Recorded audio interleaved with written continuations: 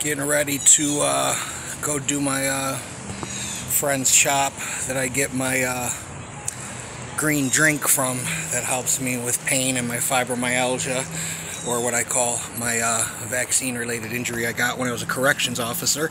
But you can't say that type of stuff because God forbid you tell the fucking truth to people. So I'm waiting for my Uber.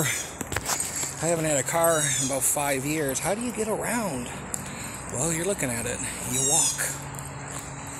Or you use a bike with teddy bears on it. Right? Because nothing says that's fucking ridiculous like a big guy riding a bike with teddy bears on it. So, how am I bringing. Look at my cats up there. How am I gonna bring all of this stuff there without a ride? Well, you just seen. So here's what we do. Okay.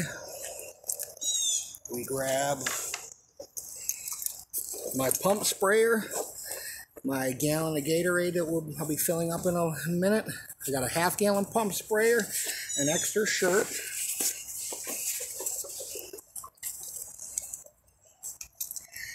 a flashlight, a rag,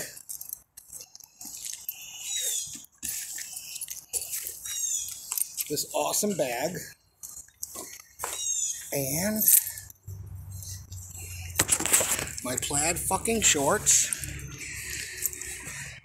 Grab my glasses, which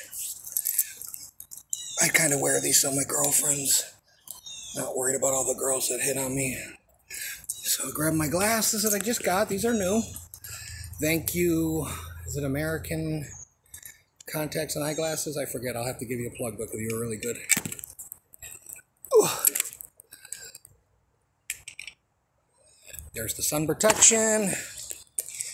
Got that. Keys, chemicals, glue boards for the mouse. Give the gate a quick. Uh,